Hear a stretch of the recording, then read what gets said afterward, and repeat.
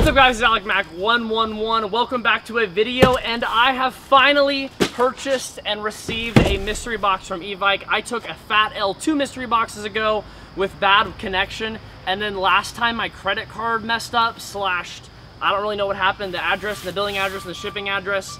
But we finally got one, and if it's an Alec Mac 1-on-1 unboxing video, I'm not just unboxing a single mystery box, so I have an AEG to do, I think it's a Polar Star, and then also a Tokyo Marui High Kappa 5.1, so we're gonna do the mystery box at the end. Um, I still got some stuff from last week's sale video if you guys want to slide in that. A lot of you bought stuff, which is awesome, but I still have like at least half the stuff left. So if you guys still want to buy stuff, you can go there. That video got like 5,000 views, which is pretty sweet. So let's get it. I also have been comments that I've been aggressively smacking my packages. I'm gonna be honest, I don't really know when that started, but it definitely had a thing. Um, and so it is what it is. This, I believe, is a Polar Star that I got from eBay. Um, I bought this, I've been watching some stuff on eBay. I love getting Polar Stars, you guys know this. And so I gotta get into it. Alrighty, here we are, baby. And I was right. I actually bought this like a week or two ago. This is a VFC slash Trident slash kind of custom CQB Polar Star. Dude, I really like this thing. So up front, it's got an Ace-Tech Lighter S in it, I believe. Yeah, or this is the lighter, yeah, lighter S. Oh, this is the lighter. So the lighter S is the little bit smaller version, but this is Ace-Tech lighter. Um, the rail is missing some screws on this side.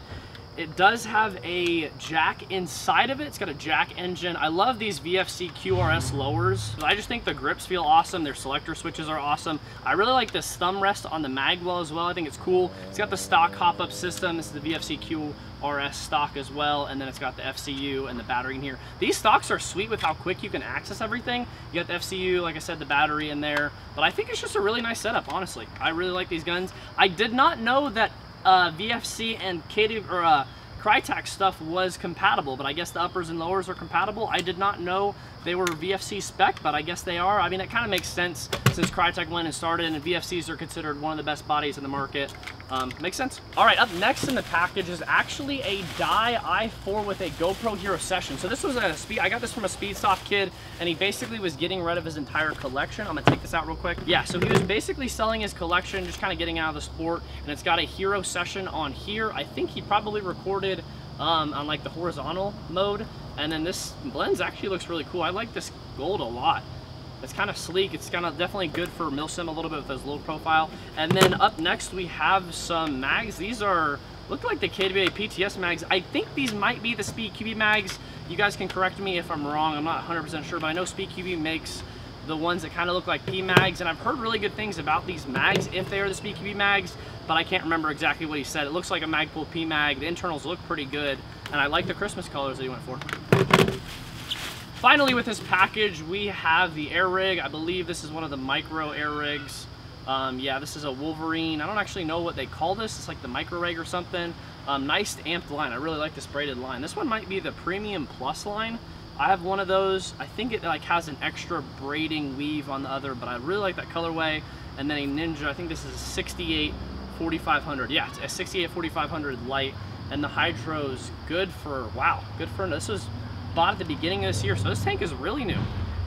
All right, up next, we are going to continue with the Speed QB trend. I ordered this last week, and I wasn't sure exactly what this box was when it got here. It was a little damaged, so I opened it, but I have not looked at any of the stuff in it. As you can tell, it is still wrapped.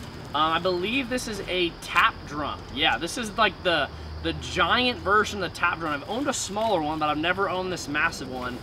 And this thing is crazy big. I'm actually not sure the mag capacity on this, but it's pretty huge and for the pistol itself. This is a 4.3 upgraded Hi-Capa. You guys know that I love Tokyo Marui high kappas. They just make an absolutely awesome base build. Up top here, it has an STI upper as well as an STI lower. These things are very, very, very nice. It is a little bit gummy with lube. I'm guessing he lubed it up. Does feel like it's pretty clean. Um, it's pretty easy to tell with some of these Hi-Capas if people take good care of them or if they kind of just beat them into the ground.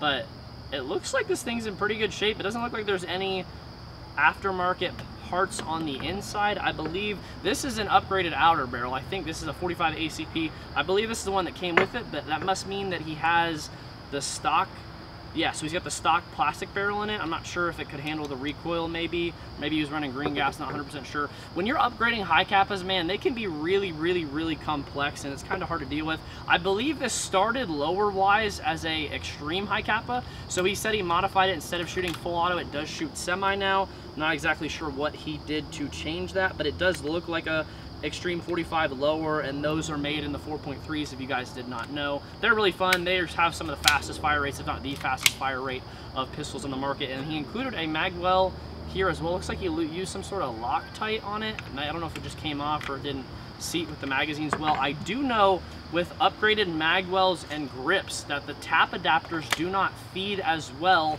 with upgraded parts. I've been hearing really good things about the primary arms adapters, but I've heard a lot of things about these tap mags don't actually work well. But dude, that right there looks sweet. I've actually ever never owned a drum on a pistol before. I've had lots for M4s and AEGs.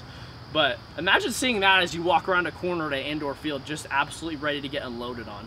All right, last box to go before we get to the mystery box from Evike. I ended up buying, another guy messaged me. Sometimes you guys will message me, and it's, I really appreciate it because you guys will be like, hey, Alec, I want to do something for the boxing. I want to try to get something new. Are you interested in my collection or stuff? I absolutely am interested in buying collections. You guys have, if you're gonna, if I'm going to give you, like, buy your whole stuff at once, um, you guys do have to understand that I can't give you as much money as retail. Some of the people are like, oh, hey, I paid this for retail. You pay me $20 less than that? And I'm like, if that's what you paid retail and you've used it a little bit, it is just not worth that. So it is better for me when I buy bigger collections. However, some people will message me like this guy did, and he will send me guns for cheaper. So this is the first out of two guns that he sent. This is an upgraded, um, I believe this is a CYMA M4. And so he designed this to kind of be, I think his brother built it before he moved overseas. This is designed to be a sleeper gun. So this is an Echo 1 uh, I'm not sure exactly what version this is. It's the Echo 1, might be OEM by CYMA. not 100% sure. It's got the Skullfrog lower there, which is kind of cool. I actually really like the trades on this as well. Uh, it's got the light poly ready pre-upgraded gearbox 30-day limited warranty and I believe internally this has been set up to be a pretty nice SSG I'm not 100% sure what the internals are on this are I think I actually have a parts list let me check all right yes so we do have the parts list for this this is a Lonex shell SHS compression internals 13 to 1 SHS gears a Gate Titan Advance and an ASG 18,000 Infinity Boost motor and then an Angel Custom Tight Bore barrel. So externally, this gun does not look like it's packing hardly anything, but internally, it is awesome. And the next gun that he's sending me, he sent them in two different parts, and he said the second one I think is gonna get here tomorrow, so I will throw that probably in next week's video. But this one is a sleeper, and the other one is much, much heavier upgraded. So I think you guys will be excited about that as well. But let's get in the mystery box. Guys, it feels like it has been absolutely forever since I did an Evike mystery box. I don't know about you guys, but I think it's been like at least six months since I opened one of these. Maybe since it's been a while, I'll get something extra special. Who knows? Uh, if you guys have been a fan of my channel for a while or watched me for a while, you know I get pretty mediocre stuff, which makes sense. That kind of would be like the statistic. I do get some cool stuff here and there. But let's hope this is one of those sweeter things. All right, first up, we have a Springfield Armory uh, Defend Your Legacy XDM. I've actually never, I think I, I think WE makes these. Air Venturi is what it looks like it's OEM by in Cleveland, Ohio. Ooh, yo, that's actually really sweet. So this box was a $200 mystery box, and I really like that so far. It's got the different backs as well. Some of these guns come crazy lube from the factory. You can see the shine on it, probably the glisten from the side. But some of these come crazy lube, which I guess is good for longevity in the guns, but it makes it a little bit slippery when you're playing with it. Got a sticker here as well, XDM. I have actually never shot one of these in real life, but I really have wanted to. This is a 4.5, so I think this is the more compact version kind of feels like the grip feels like it's full frame, but maybe the slide's just a tad shorter.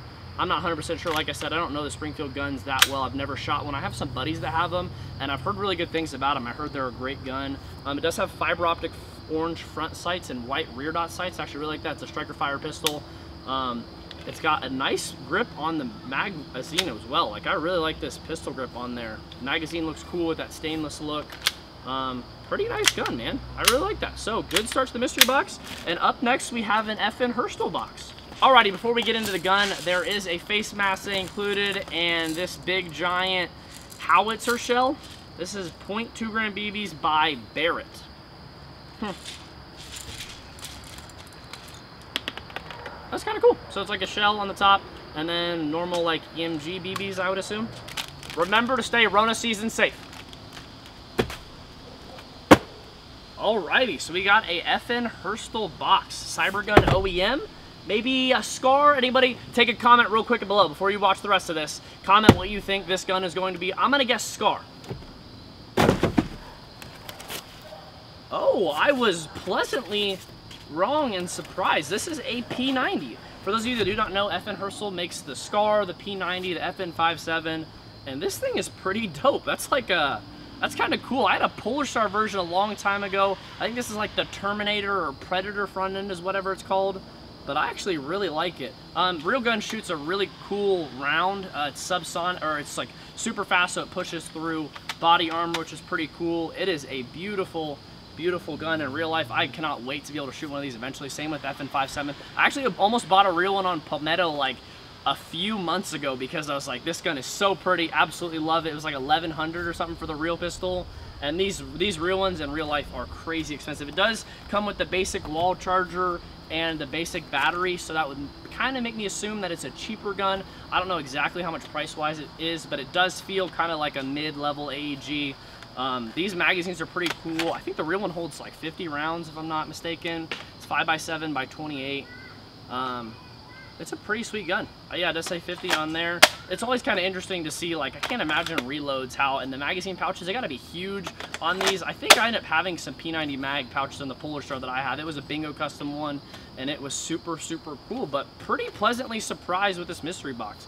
I really like this up here. I think that adds a ton to it. I think it makes it look a lot cooler with this. Uh, it's kind of annoying that the orange tip is that big, but I'll either take it off um, if I can. Looks like I can kind of remove that there or maybe spray paint over it.